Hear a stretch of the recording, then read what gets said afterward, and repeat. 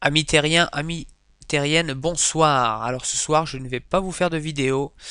J'ai un petit souci, je vais vous expliquer tout ça. Euh, donc comme vous le voyez ici, j'avais tourné l'épisode 2.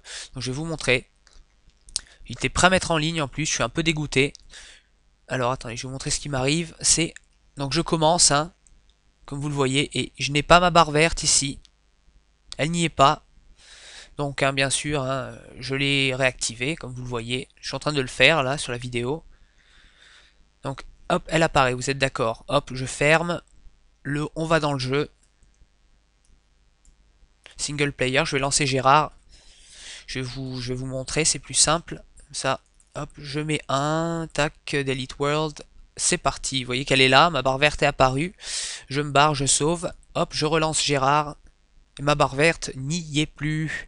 Donc, j'ai essayé euh, tout ce qui pouvait, euh, tout ce que je pouvais imaginer. Hein. J'ai fouillé internet, j'ai euh, copié, sauvé par rapport au nouveau, au nouveau monde les paramètres du CGS Hardcore dans ma sauvegarde. Ça ne marche pas. J'ai réinstallé le programme, j'ai fait plein de choses. Vous allez voir. Là, je vais créer un nouveau monde.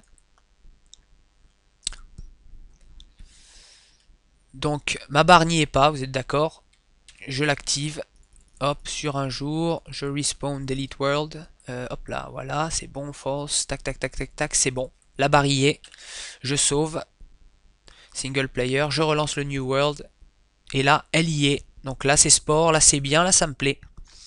Donc je sais pas pourquoi sur ma map elle marche pas, j'ai tout essayé, hein, comme je me répète un peu là.